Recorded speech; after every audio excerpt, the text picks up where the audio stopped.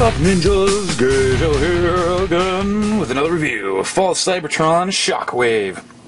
What up? That guy. This guy. Yes!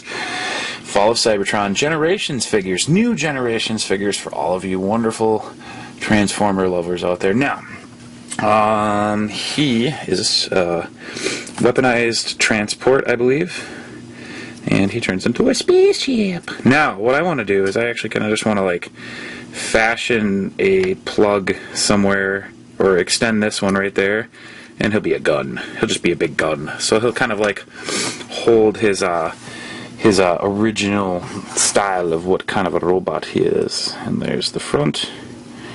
You can kind of see and it's really nice. I mean, like the the vehicle here is actually really cool, and I like it. And the transformation's not too bad either. It's a little tricky to get it into vehicle mode the first time, but after that, it's pretty good.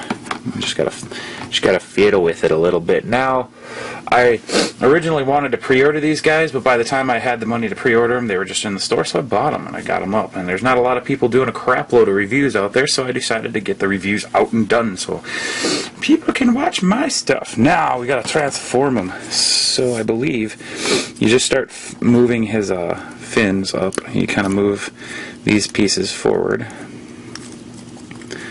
like so, and then I believe you can separate the front part here. Oop, that fell off, but no big deal. No biggie. Oh yeah, and flip that up too. So you're just kind of like peeling them apart right now. This is like a really neat little gun. Um, you can see it has like little gun barrels on it. And then you can uh, add on his uh, blaster like so. And then it looks even more badass. Set that aside for now and let's get on to the robot. So basically, he got his legs done already, just like that, no big deal. Kind of scrawny, but they don't bother me that much because this figure is slightly misproportionate, and I'm pretty sure it has to do with like how the video game is, or whatever, how the video game is at all. Yeah. So got that. Is this? This is kind of like sitting funny. probably because of that giant backpack.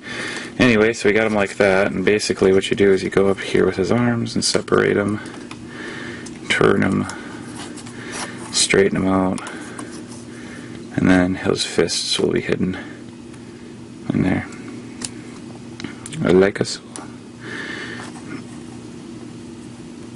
Let's see if we can get this other one out, like that. Alright, what you do is you pop his head down, or pop his body down and what it'll do is it'll pop his head up like that. And you just kind of plug his shoulders in move his arms down arrange his arms however you see fit. Um, it has a double elbow joint there so you can kind of get some pretty good poses up and just get his wings up stand him up and he's ready to rock.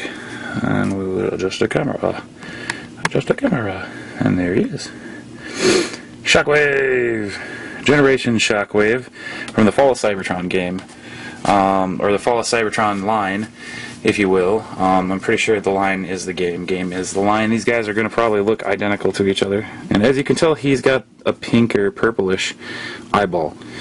Kind of like a really nice one. That is really cool because if you get a light in there, it'll really just kind of just, just blow up his uh, little eyeball will explode full of light and enjoyment and awesomeness. Uh oh. People were trying to call. But anyway, so we got the uh, the shockwave, very nice. Oh, and the cool thing about these deluxes is they do have uh, uh, faction signs on them. So there's a faction sign. He's a Decepticon, obviously, because he's all freaking purple and such, and you can make him hold his weapon. So you just peg it in, and oop, there we go. I like so, very nice. And it's basically he's got all this nice light piping, so he does have some clear plastic pieces that kind of just pop a lot more but all in all, he's a really cool character, and I do like him. Um, I know a lot of people have been saying that his you know body is super disproportionate. He's all like this really sporty, scraggly looking robot, but I actually really like him like this. He looks really cool, and if he had a vehicle mode, I guess it, he really does pull off a good vehicle mode, other than the fact that he turns into a gun, and that's pretty much the only thing he's ever really turned into, unless you consider Shock Blast and animated, and then they turn into like some random garbage. But this has been a review from Gajo of Transformers Generations Fall of Cybertron Shockwave. And Fall of Cybertron Shockwave is awesome. We'll get you close ups at the end, obviously.